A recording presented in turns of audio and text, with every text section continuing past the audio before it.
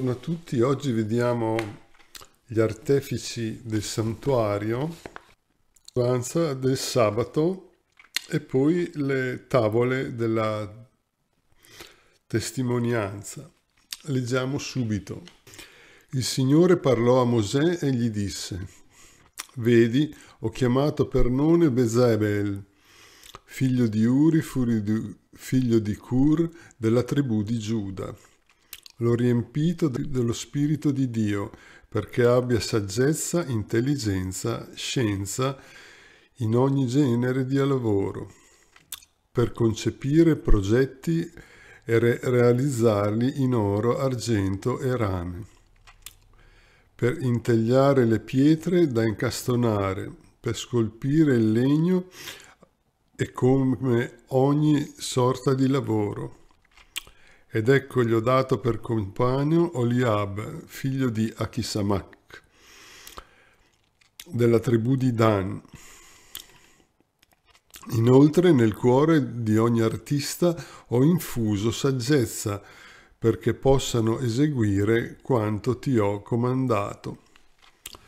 La tenda del convenio, l'arca della testimonianza, il coperchio, sopra di esse tutti gli accessori della tenda, la tavola con i suoi accessori, il candelabro pu- puro con i suoi accessori, l'altare dei profumi e l'altare degli olocausti con tutti i suoi accessori, la conca con il suo piedistallo, le vesti ornamentali, le vesti sacre del sacerdote Aronne e le veste dei suoi figli per esercitare il sacerdozio, l'olio dell'unzione e il profumo degli aroni per il santuario. Essi, essi eseguiranno tutto, tutta ogni cosa secondo quanto ti ho ordinato. Ecco, qui vediamo le cose più importanti e si doveva fare tutte le cose della, della dimora, quindi partendo dai temi, le stanghe, tutte quelle cose lì, però poi c'erano anche le altre cose di cui abbiamo visto in tutta la sezioni che, par- che parla appunto della dimora e di tutti i suoi eh, accessori. Ecco. Però abbiamo visto che Dio dà lo Spirito Santo a Bezael e a Olioa. Ecco, che questi devono fare tutto. Ecco, Oliab e Bezamel erano intagliatori e sapevano fare tutto. Ecco, però la cosa più importante da dire eh, è quella che Dio infuse appunto eh, lo Spirito Santo. Ecco, allora vediamo che eh, lo Spirito Santo eh, può essere anche la, la capacità, la saggezza, l'estro, la capacità, ecco, vuol dire tante cose, lo Spirito Santo, anche se queste sono quelle più meccaniche, ecco. Ecco, eh, lo Spirito Santo è spirituale, ecco, perché è il pensiero di Dio. Ecco, però vedete che qua vediamo già qualche, qualcosa ecco, che si avvicina appunto allo Spirito Santo. Ecco, anche un buon imprenditore, ecco, se non adora il denaro e lo usa come lo usava il, il santo Giobbe, allora è, è un segno che ci sono tutte queste cose che abbiamo detto. La saggezza, l'estro, la capacità, Ecco, tutte queste cose. E qui però poi vedremo alla fine di questa sezione, come abbiamo visto, che, che eh, ci parla della dimora, che era un, un, un culto ancora meccanico e non era spirituale se no in certi casi ecco, non c'era la rimessione dei peccati e quindi non, non avevano le cose che abbiamo noi, i sacramenti, eccetera. Ne parleremo negli spunti. Leggiamo l'osservanza del sabato. Il Signore disse a Mosè, Quanto a te, parla agli israeliti, riferisci loro. In tutto dovrete osservare i miei sabati, perché il sabato è un segno tra me e voi, per le vostre generazioni, perché si sappia che io sono il Signore che vi santifica. Osserverete dunque il sabato perché lo dovrete ritenere santo. Chi lo profanerà sarà messo a morte. Chiunque in quel giorno farà qualche lavoro sarà eliminato dal suo popolo.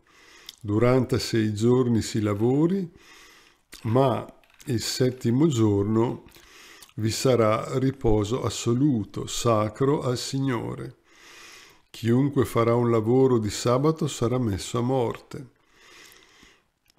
Gli israeliti osserveranno il sabato, festeggiando il sabato nelle loro generazioni come un'alleanza perenne. Esso è un segno perché fra me e, voi, e gli israeliti, perché il Signore in, sei giorni ha fatto il cielo e la terra, ma nel settimo ha cessato e si è riposato. Ecco, ecco qui c'è il problema del, del sabato, ne parleremo negli spunti, ma vedete ci sono queste cose un po' strane. Mm, il sabato doveva essere il giorno di riposo, stare in famiglia, non lavorare, ecco, perché poi eh, si vede nella storia del popolo di Dio che molte volte alcuni andavano a lavorare anche al sabato, ecco, perché il denaro eh, attira, ecco. E ma questo non si doveva fare, è una cosa appunto fatta per la famiglia e per il riposo. Ecco. E qui però ci sono delle cose, la pena di morte, ecco, se qualcuno profanerà il sabato c'era la, la morte, ecco, e anche quelli che facevano dei lavori eh, durante il sabato. Eh, però vedremo appunto nel, negli spunti il Vangelo come Gesù invece ecco, eh, seguiva il sabato, lo, non, lo, non aveva appunto eh, la pena di morte, assolutamente. Ecco. Quindi vedete che, come dice il Signore stesso, io sono venuto per ehm, compiere la Torah. Ecco. Eh, la Torah è molto importante, però deve essere compiuta eh, dal Signore, lo poteva fare solo Lui. Ecco, vedremo negli spunti. Poi leggiamo l'ultima cosa, le due tavole della testimonianza, dice quando il Signore ebbe finito di parlare con Mosè sul monte Sinai, gli diede le due tavole della testimonianza, tavole di pietra scritte dal dito di Dio. Ecco, vedete che qua sono eh, le dodici parole i dieci comandamenti, come li chiamiamo, perché sono le, le più importanti delle norme e dei comandamenti. E quindi vengono scritte eh, dal dito di Dio su due tavole di, di pietra. Ecco, e, mm, vedremo anche qua negli spunti ecco, che mm, il Signore aveva qualcosa da dire su queste cose, ecco, che appunto queste tavole erano le norme, mm, i comandamenti più importanti e tutto, e tutto il resto veniva in secondo piano. Ecco. Ecco, sulla dimora che abbiamo finito, ecco, poi c'è il vitello d'oro, ma bisogna dire che appunto c'è una pedagogia di Dio perché abbiamo visto che volevano vedere il loro Dio, ecco, ma eh, Dio non si può manifestare agli uomini, ecco, e non si vuole manifestare agli uomini, ecco, e quindi perché perché Dio è santissimo e si può stare alla sua presenza solo se si è eh, appunto dei santi, se, se si è stati eh, santificati da Lui. Ecco. E quindi vediamo che qui mm, questo mm, culto eh, della dimora ehm, viene fatto perché almeno eh, sapessero che lui, Dio c'era, c'era la sua presenza, ecco, ma non il suo volto. E allora c'è tutta questa costruzione della dimora, gli accessori e tutte queste cose che abbiamo già visto eh, una per una. Ecco. E, e quindi mh, vediamo quello che ho detto adesso, cioè questa volontà di vedere il loro Dio, eh, lo vediamo subito dopo, eh, nella prossima pericope, dove appunto ehm, Mosè rimane sul monte e il popolo comincia a dire di Mosè non sappiamo più niente, faccio un, un, un vitello d'oro. ecco, c'è appunto il passaggio molto importante del vitello d'oro. Ecco. E questo è il grande gap della della, della religione cristiana e anche giudaica, che Dio non lo vediamo, non si manifesta. Qualcuno ha avuto delle, delle visioni, ecco, delle apparizioni della Madonna, del Signore, ma Dio non lo si vede. Ecco. Eh, però sono tutte cose molto mh, limitate, ecco, anche perché Dio non può, ecco, e neanche il Signore manifestarsi perché sa subito che dopo queste cose arriva subito il diavolo. Allora si possono fare queste manifestazioni sono solo a quel, ai cristiani, ai fedeli che sono a un certo livello e che non si fanno ingannare dal diavolo. Non tutti sono capaci di mm, vincere il demonio, anzi sono pochissimi, ecco è anche per quello che il Signore non può manifestarsi e neanche eh, la Madonna se non in certi casi, ecco. Ma mm, il gap appunto era che mm, mentre gli altri popoli avevano questi mm, simulacri anche di legno così che è un po' stupido perché eh, non parlano, non sentono, ecco come dice la Bibbia in tanti luoghi. Ecco, e, e, quindi vedete che è un, un, culto un po' meccanico questo qui che abbiamo rispetto al nostro, eh, perché poi il Signore ad esempio, si lamentava con i farisei e i dottori della legge che facevano tutte queste cose, non so, eh, appunto eh, le, le, offerte, i sacrifici, ecco, però non eh, ottemperavano appunto le dieci, ehm, le dieci parole che abbiamo visto prima. Ecco, eh, che sono i più importanti. Allora, se tu fai le cose meccaniche ma non fai quelle vere, che sono le più importanti, se sei fuori dalla, dalla religione. Infatti il Signore lo diceva, soprattutto ai farisei e i dottori della legge. Ecco. Eh, e quindi eh, una pedagogia eh, la dimora in, sia perché il Signore appunto non si può manifestare, ma anche perché appunto ci saranno poi le norme, le dieci parole dove ci sono i dieci comandamenti più importanti e quelli sono quelli da seguire, poi vengono in seconda battuta tutte le altre cose. Ecco, è un po' che uno va a a mettere un fiorellino sulla Madonna, poi va a casa e picchia sua moglie e i suoi figli. Ecco, insomma, siamo a quel livello lì. Il Signore aveva ragione, appunto, e li sgridava.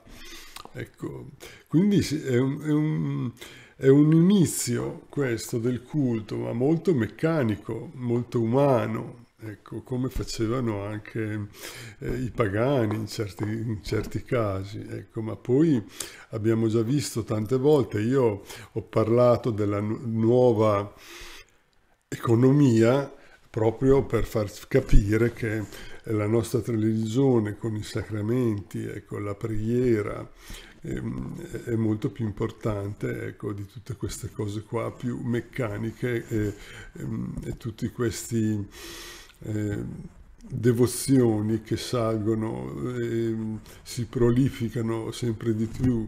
La gente fa le devozioni e poi non legge la scrittura. Ecco, anche qua è un errore clamoroso perché il Signore, siccome non lo vediamo, però ha parlato e ci ha detto tutto, ecco, nella Bibbia. Ecco, poi questo gap che ho detto eh, del fatto che Dio non si può manifestare, è perché per noi Dio è dappertutto, il cosmo è suo, è lo sgabello dei suoi piedi, quindi la sua presenza c'è continuamente. Noi lo sappiamo benissimo, non c'è bisogno di andare a messa, cioè c'è bisogno andare a messa sicuro perché c'è l'Eucaristia, eccetera però abbiamo la possibilità anche di eh, evocare il Signore anche nella nostra camera. Ecco. Infatti il Signore dice, ma tu, ma tu, dice, quando preghi, entra nella tua camera, chiudi la porta e prega il Padre tuo nel segreto e il Padre tuo che vede nel segreto ti darà grazia. Ecco. Ecco, allora vedete che se il Signore dice ma tu entra nella tua, nella tua camera e preghi, vuol dire che lì c'è Dio, ce lo dice lui implicitamente, non abbiamo bisogno eh, di, far, di, fare dei grandi eh, dei viaggi lunghissimi per andare in un luogo dove c'è stata una transizione. Certo, sono dei, dei luoghi eh, dove sono più santi di altri, però eh, abbiamo a nostra portata quando vogliamo anche nella nostra cameretta. Ecco. Eh, ce lo dice il Signore quando dice tu, dice, dice tu, dice tu, non, non, dice voi. Vuole il tu con tu, ecco, una parola, una, un contatto con la tua eh, anima, solo con te, ecco, poi lo fa anche con gli altri, ecco, lo fa a tutti. È sempre lì il Signore ad ascoltarci e, e, e vuole appunto che ci sia un, can, un, contatto con la preghiera. Eh, pensate un po' com'è eh, la preghiera, la nostra, ecco, eh, c'è tutto, ecco, abbiamo il Signore, quindi c'è già, già tutto, ecco. Quindi vedete che è tutta un'altra cosa che non quel culto meccanico ecco, che facevano i farisei e, e invece non ottemperavano le cose più importanti, più pesanti, come dice il Signore. Ecco, ecco sul sabato vi dico un passaggio, vi leggo un passaggio del del Vangelo, ecco, perché qui abbiamo la pena, di morte per quelli che non ottemperavano il sabato.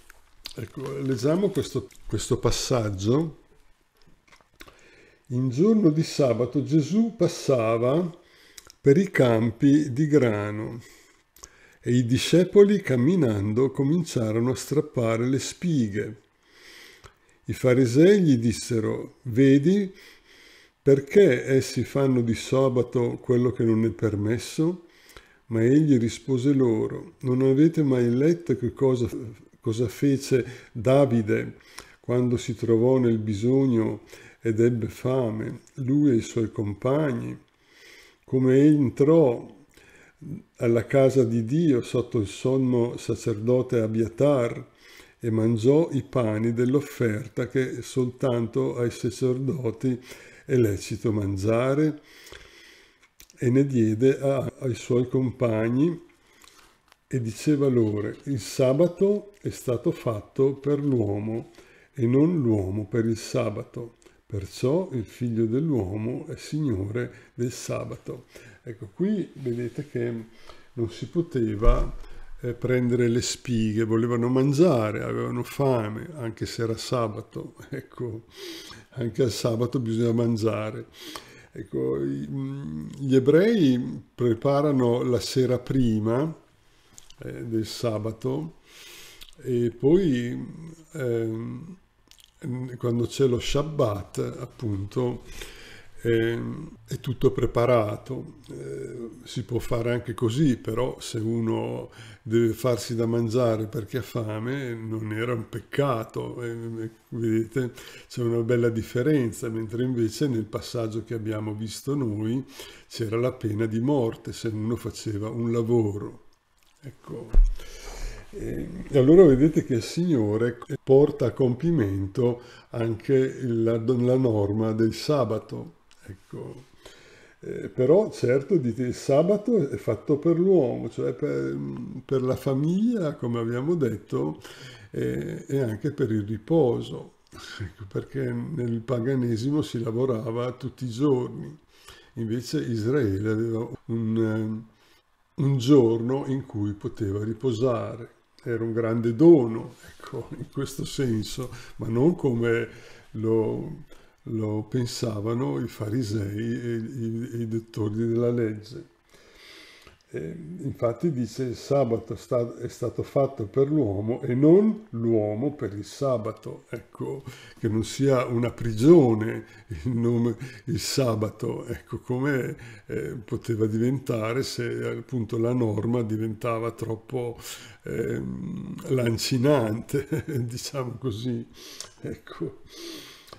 Eh, però poi, siccome anche Davide, che non era un sacerdote, aveva mangiato i pani della preposizione, che non, era, non, potesse, non si potevano mangiare se non i solo sacerdoti.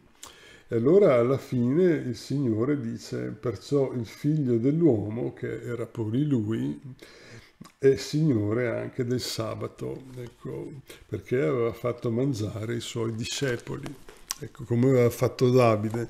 Però la, la cosa che ci, ci, interessa di più è il fatto appunto che c'è stato un, un um, completamento rispetto al, al sabato, anche al sabato come lo lo pensano gli ebrei oggi, ecco che è, un po' appunto ehm, è una cosa che si rifà alla Torah ma non al compimento del Signore. E allora vedete che abbiamo bisogno eh, di, di vedere il Nuovo Testamento anche quando eh, leggiamo l'Antico, se no non, non capiamo.